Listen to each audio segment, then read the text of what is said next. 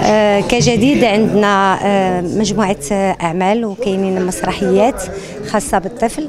إن شاء الله باش نكون تكون عندنا بها واحد جولات داخل وخارج أرض الوطن.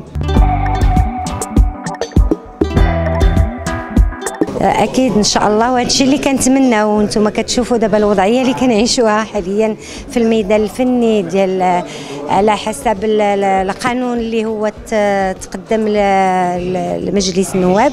واللي هو آه، شكل واحد الإشكالية كبيرة آه، ولا الاتجاه ديالنا كله غير كيفاش غنحلوا هذه الإشكالية هذه وكيفاش ترجع الأمور لمجاريها.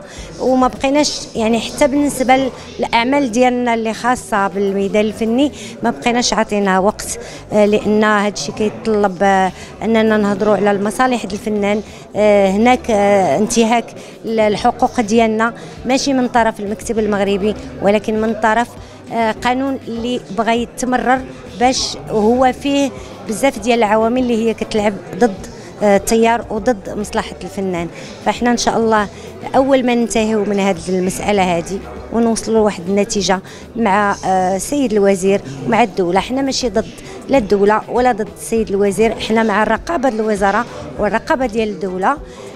شرط أن الحقوق ديالنا ما ما يعني ما ما, نضيعوش فيها وما تقاش الحقوق ديالنا لأن الفنانين أغلبهم كيعيشوا من هذه المستحقات ديال المكتب المغربي حقوق المؤلفين وحقوق المجاورة.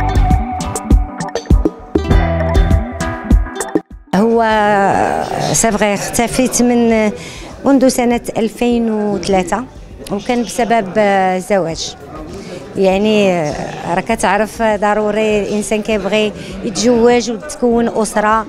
آه، داز واحد الفترة ومع كاين الوليد صغيور من بعد آه، جاء أن طلب من الجمهور الناس اللي كنتلقاهم أنك خليتي الميدان وحنا في أمس الحاجة ليك. وكان الرجوع طبعا في 2016 وكنشكر الإذاعة والتلفزه المغربية لأن بأول ما رجعت للميدان آه، احتفلوا بيا وداروا لي تكريم. كذلك كان تكريم آه، كبير اللي كيأرخ المسيرة الفنية ديالي في مسرح محمد الخامس. وطبعا ما كنساوش الدور ديال ديال الوزارة ديال الدولة ديال سيدنا اللي كيعطف على الفنان واللي آه، فعلا حقوق الفنان كيتكلم عليها سيدنا وهو اللي تكلم بالأساس وبالدرجة الأولى على هذه النقطة اللي وقعنا فيها دابا. فان شاء الله كنتمنى أمور تكون على خير.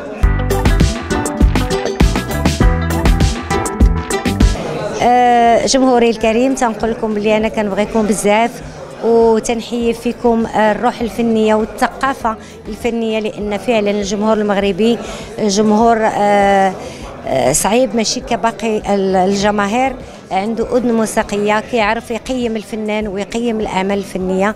كنحييكم وأنا رجعت لكم وكل آه، أذان صغيه ونتمنى نكون عند حسن الظن ديالكم.